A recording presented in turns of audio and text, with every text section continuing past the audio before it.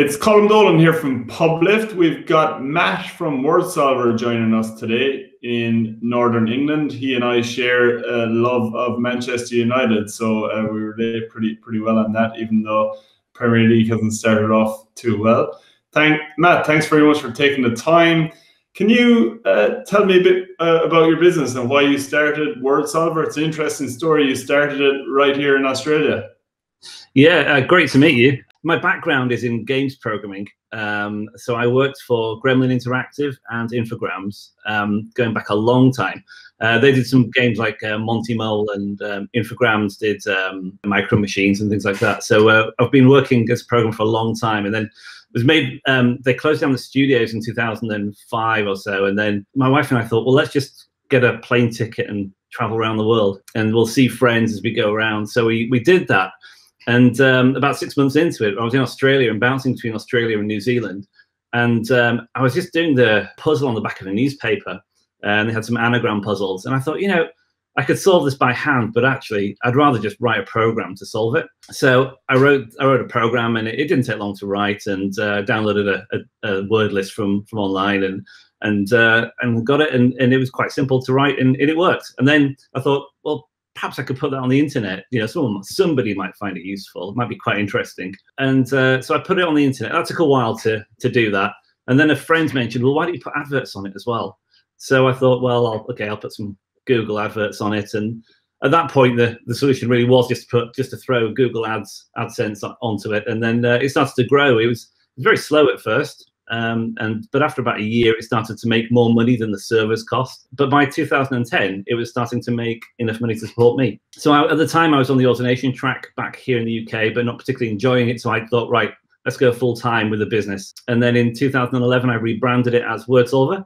Uh, registered the IP and got all the trademarks sorted. Um, and then every three years since then, I've, I've made a rewrite of the of the site to keep it up with all the latest front end tech. So that's kind of the story of, of how we get to, to here. Very good, very good. I'm sure it was a difficult decision as we've all had to make to give up the day job and, and go at it full throttle. So that's uh, well done, and it's uh, ten years, so that's um, that's great. I think there's some stat that 85 percent of uh, startups fail in their first four years. So um, well done on that. Yeah. Um, and speaking about that, uh, you said from previous conversations that COVID was a very worrying time. Um, I know mm. if we definitely batten down the hatches a bit and we're very conservative in, in our spending.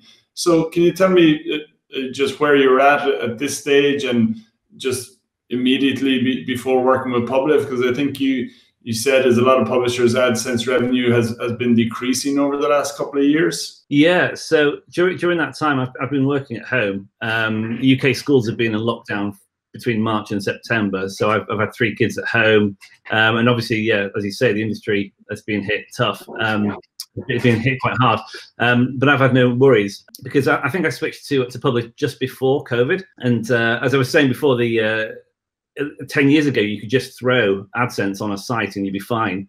Um, but the industry has obviously changed dramatically. And I found that the income from AdSense kind of really declined over the last few years. And I had some issues with confirmatory click issues and on mobile. And um, I just, you know, um, was really struggling for income. And of course, AdSense doesn't do header bidding or ad refresh. And Google isn't 100% of the market. So you're missing so much bid pressure from elsewhere. But I think it was back in January, I got an email from from Ben uh, and I was thinking about how to integrate all these different technologies into the site, you know, header bidding, ad refresh, content management, all that kind of stuff. But um, my passion really is programming fun things. It's, it's really in the content. It's not in the monetization or the privacy. Um, and I wasn't particularly looking forward to writing and testing all these different things that could increase the the income for, for the company, or to signing up with new ad partners for uh, for Prebid and for header header bidding and all that kind of stuff. And I don't like anything that kind of takes away away time from programming really. So at the same time, like many publishers, I get loads of emails from um, companies saying, you know, we want to put our ads on your site, um, and I've done that before, and sometimes it hasn't gone very well. Um, so I usually just ignore them. But then um, I got an email from Ben, one of your, one of your sales guys, who outlined all the things I wanted to do um, to my site. And said, he, and he said, I do this that these are the things we can do at Publift. And I was like, well, okay, so you've got my attention then. So the, I, I decided just to kind of give it a go because things were looking so bad with AdSense. And this is back in January, so this is before COVID.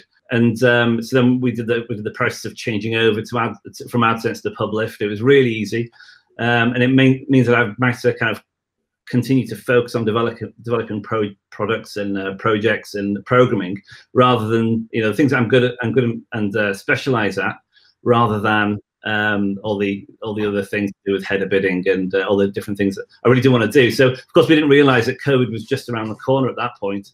Uh, and if the revenue had hit the industry when I was with AdSense, I don't think I'd still be in business. I, I think that would be it. I'd be looking for a job at the point where there was no jobs and everybody was furloughed in England. So switching to Publift was was really positive for me, and has meant that I've been able to ca- continue as a business and continue working. So it's been obviously been a real godsend. It's good to hear that. I think it's it's heartening. And I think that's what I do with, with finance. You know, we, we outsource finance and those kind of areas we're just not that good at it. So um, I think it makes total sense. And I think we discussed as well about your struggles with maybe you know, finding out about compliance, GDPR compliance, and I know your a lot of your traffic is from the US as well with the, the Californian law uh, recently in, in, place as well. What do you like about working with Publift in, in, in those capacities? The consent management platform has been really helpful. Um, so WordSolver is a really great site from a privacy compliance perspective because there's no storing of user data. There's no logging in, there's no addresses being held, and certainly no financial details. So um, the only GDPR and CCPA compliance I need to think about is the advertising side, really, and maybe analytics. So I could really use the um, the consent management platform that you guys provide right out of the box uh, without doing so, you know too much work on it. Um, and that's again that's saved a huge amount of time, but also it's a solution that's battle tested. It's deployed globally on a huge number of sites. Um, so yeah, it means that I don't really don't have to think about bug fixes or anything like that. It's all working and it just again it's a time saver that means I can get back to programming. So it's really been positive. Yeah, that's interesting. And so one of the things we get from prospects a lot is kind of struggle to to trust Publift. just mm. I think Google has such a a massive uh, worldwide authority, and when you go from a, a program like Google AdSense to a business like Publift, publishers often ask, "Well, why should I trust Publift?" and yeah, it'd be interesting to get um, like you seem to have got a kind of feeling of, of, of safety and reassurance from mm. Publift. Is, is, there anything during your your your six months working with Publift that has given you that? Yeah, I mean, even before I signed up, actually, I looked at um, the recommended list of, of Google companies, you know, the recommended partners from Google, and, and you guys were listed on there. That was, I think, that was one of the things that really helped actually, just knowing that you were a recommended partner uh, put my mind at ease. But I'd say certainly the first six months has been quite a lot of things actually. Um, so one thing is is the responses to emails. Um, you know, with the big behemoth companies that you have that have 50 million clients, they obviously can't give you personalized responses, um, or if they do, they take days. And then when I was raising issues with one of the companies I was working with, um, or, well, with Google, um, they they would give me a list of, well, here's a, li- a vague list of things you can try, and they don't really know your site. Uh, but with Publift, of course, I've got an account manager in Nick, and he responds to queries um, as soon as he's online, and his responses are specific, and he's trying to find solutions. He cares that he wants to find solutions, and he knows the site well, and he's looking to find a good solution that works for everybody.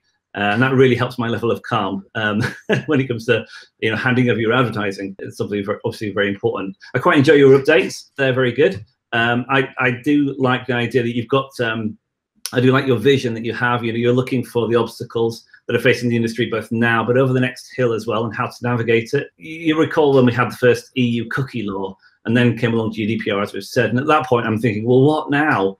You know, what what's the next thing I have to deal with uh, from, from legislators are going to put out there? Of course, now it's CCPA, and there's only ever going to be more. It's not going to go away. So the the thought that you guys are thinking about that, so I don't have to, that that's really positive, and obviously you know, I know that's uh, that's that's very reassuring uh, to I won't get it wrong because uh, you guys are dealing with it. You know, a lot of the businesses we support are small one and two person businesses, which you know you have a direct impact on revenue and, and things like giving up your your day job to focus on this is something that I try to have in our team as well to say like you're actually influencing these people's businesses. It's not you're working with a, a, a, big corporation and they have loads of money. It doesn't matter if they lose ads for one yeah. day or something like that, or something makes a mistake. But it's actually you're affecting real business here and real yeah. people's lives. So I think that's even another point as well is that the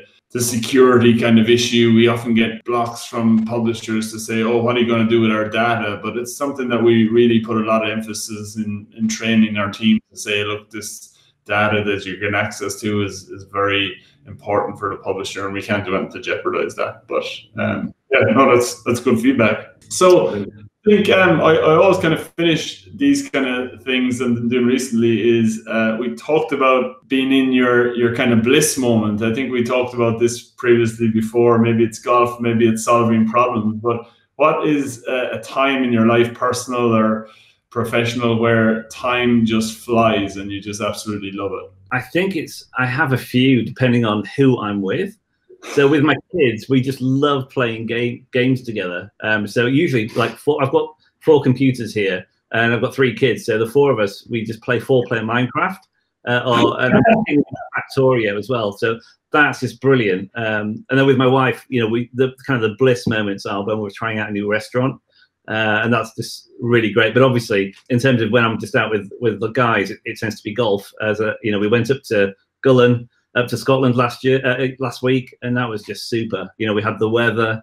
Uh, it was brilliant. Um, but on terms of my own, it, it's programming. It, that really is. It's, it connects me with real kind of. It's, it's a, such a creative prog- process, um, programming, um, and I feel like I'm taking a dream and making it reality. So it feels quite divine, kind of bringing that kind of um, creation in there. And and uh, for me, that's that's uh, writing my own stuff rather than writing what a boss tells me to write. That's that's bliss. It's great. It's, it's pretty cool. I should have paid attention back in uh, my uh, programming lectures in, in university. All right, Matt. That, that, is, that is fantastic. Thanks very much for uh, joining me and uh, and sharing those experiences. It's, uh, it's it's it's nice to chat always. Great chat. Yeah.